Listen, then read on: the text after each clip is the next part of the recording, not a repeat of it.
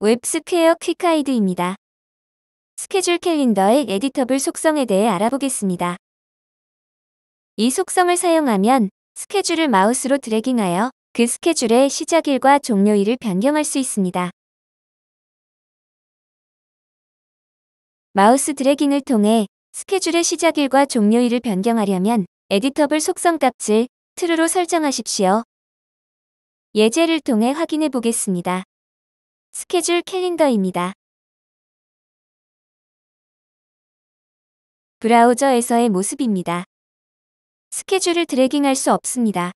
즉, 마우스로 드래깅하여 스케줄을 이동할 수 없습니다. 스튜디오로 돌아와서 에디터블 속성 값을 true로 변경하십시오. 저장합니다.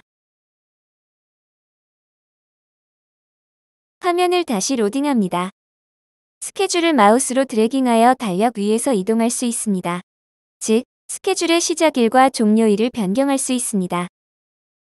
스케줄 자체를 이동하거나 스케줄 기간을 연장할 수도 있습니다.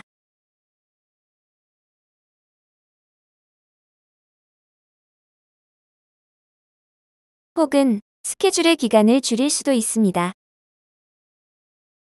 웹스퀘어 퀵가이드를 시청해주셔서 감사합니다.